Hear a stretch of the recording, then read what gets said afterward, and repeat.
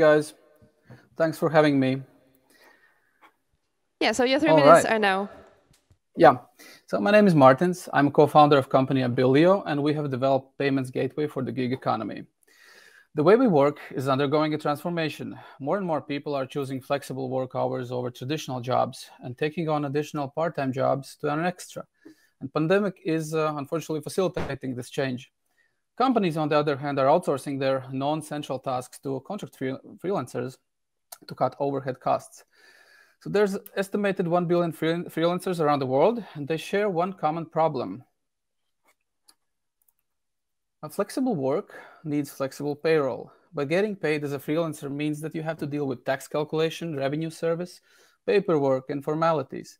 If you do it wrong, you can run into problems. If you're a digital nomad, there's a risk you can you won't be able to understand local laws and regulations. That's why we have created the solution, company as a service combined with a digital platform. With Abillio, freelancers can invoice their cross-border customers and receive payouts while we take care of taxes, accountancy, and running a company.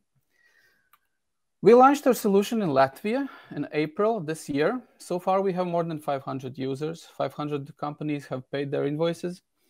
And we have a 40% month over month growth in processed invoice volume. Average invoice value is 700 euros, and the most popular services are uh, video production, IT, and software development and design. Mostly, we onboard our new users through mouth to mouth referrals and in partnership with freelancer marketplaces. Our users can register and under, undergo KYC in 15 minutes, uh, send their first invoice from anywhere in the world, and withdraw money to their personal bank account.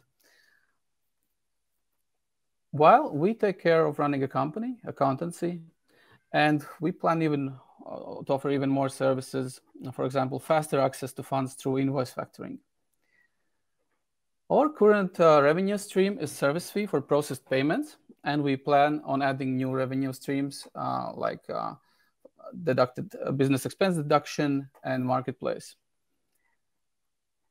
The market we want to address is 32 million people living in EU, uh, freelancers, uh, with the transaction volume of 5 billion annually.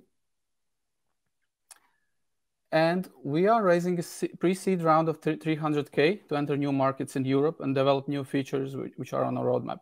First, we are looking at Poland, Greece, and Germany, where we want to replicate and localize our existing solution. We are three founders with more than 10 years experience in taxes, legal frameworks, marketing, PR, uh, web and e-commerce platform development. And we are a bootstrapped company, and the company is uh, owned by equally by us three. We, uh, we have a positive feedback on, from our users on Google reviews, and uh, if you like what you see, please reach out to us. Thank you very much. You're perfectly on time. Now let's have some questions. Thank you. Yeah, quickly want to jump in. Um, the 500 users or so you mentioned, what, what does the profile look like? Uh, um, if you can give me a bit of an idea, who are the yeah. early adopters for the platform? Designers, uh, the production company freelancers, people who who work for uh, ad shoots, for video shoots. So a lot of video guys, video production guys, and IT developers, software developers. Where, where do you see the biggest inbound right now? Is it um, word of mouth, or is it actually through these these platforms who aggregate sort of? It's mouth to mouth marketing mostly. Uh, we tried Google Ads, Facebook Ads. Um, actually, they don't work uh, because people don't trust new platforms, especially when it comes yeah. to payments.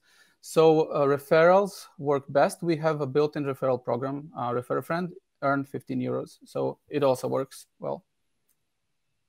Interesting. Yeah, thank you, thank you for the for the pitch. I, I also really like it. Uh, I'm I'm also interested a, a, bit in you know how you attract these um, people because you said you have partnerships with freelancer marketplaces yeah. I'm wondering a bit, you know, isn't that, I mean, you're taking a percentage of, of the payout, you know, the, of the pay that they get. I, I assume that the freelancer marketplaces also do the same. Isn't that actually a bit of a competition that you have? No, uh, well, freelancer marketplaces don't have payment systems in place, um, at least in Latvia. So uh, they are re- very happy to provide our service to their freelancers just uh, based on a referral link. So mm-hmm. they earn 15 euros for, per each new subscriber. Uh, but that's not the biggest uh, drive of uh, inbound. Uh, I, I, would say that um, mouth-to-mouth referrals is works mostly. Okay. Okay. And I mean, you said that you know it, it's working in Latvia. How how's it in the other in the rest of Europe, for example? I mean, do you have some competition there? I don't know yeah. the there is competition. There is a company called Xolo in Estonia. They have a pretty similar service, and they have a 70k users from 130 countries. But the market is big, uh, so we don't see problem to coexist. Mm-hmm. There are some niche companies in each country. Uh, I know there's even neobanks targeting freelancers uh, in uh, in Asia and USA, and um, there are companies helping just with taxes, just with the accountancy. Our goal is to take care of everything, so you can just receive money to your private bank account. Mm-hmm. And uh, our goal is actually to become a neobank for freelancers. Yeah, I like the term "company as a service" that you use. Then that fits. Yeah, that's that's pretty new. Cool. Thank you. Thanks. Okay, do you have any more questions maybe? Or if not, maybe Martins, you will tell us something interesting about your company. You still have some time left, like minute, one, one minute. Sure, sure. Yeah, we got accepted to MasterCard Lighthouse program, uh, which actually gives us a lot of connections with banks, banks uh, MasterCard and MasterCard payments. So we're looking to integrate a lot of automations uh, through open banking and uh, looking to offer some banking as a service solutions to our clients as well. And uh, one more thing I would like to add, um, we get a couple of more ideas to uh, offer to freelancers. They have bad credit scoring because they have irregular income.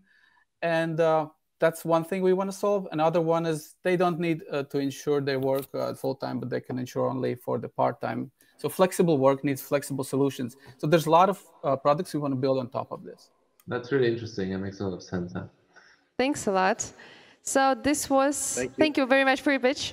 Uh, this was uh, the last startup in this slot, and we literally have a couple of minutes left.